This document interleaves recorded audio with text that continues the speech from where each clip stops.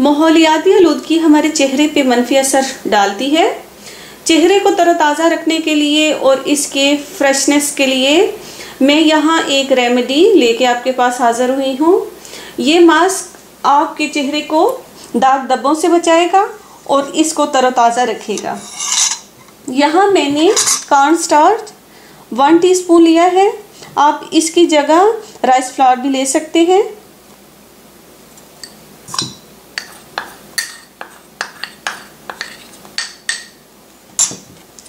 शहद half tea spoon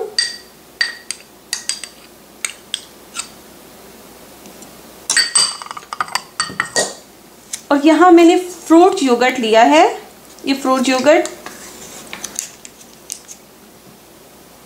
मैं one teaspoon लूँगी।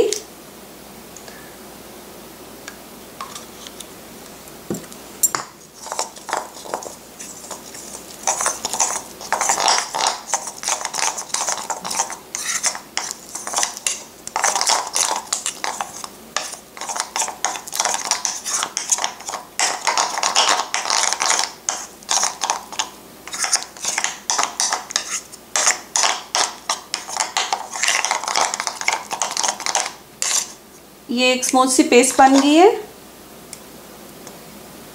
आप इसको अपने चेहरे पे, अपनी गर्दन और हाथों पे अप्लाई कर सकते हैं।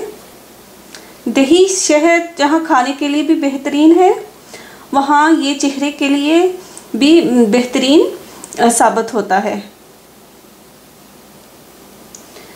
इसको मैं ड्राई होने तक लगा रहने दूँगी। जब ये ड्राई हो जाएगा 10 से 15 मिनट ये लेता है ड्राई होने में। ड्राई होने के बाद मैं इसको धो लूँगी। पहले मैं इसको गर्म पानी से धोऊँगी और बाद में मैं ठंडे पानी के छींटे अपने मुँह पे मारूँगी।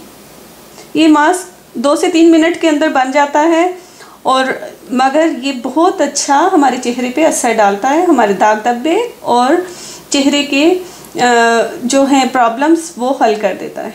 उम्मीद है कि आपको ये रेमेडी पसंद आएगी। मैं मज़ीद रेमेडीज़ लेके आपके पास हाज़िर होंगी। अपनी दुआ में याद रखिएगा। अल्लाह हाफिज़।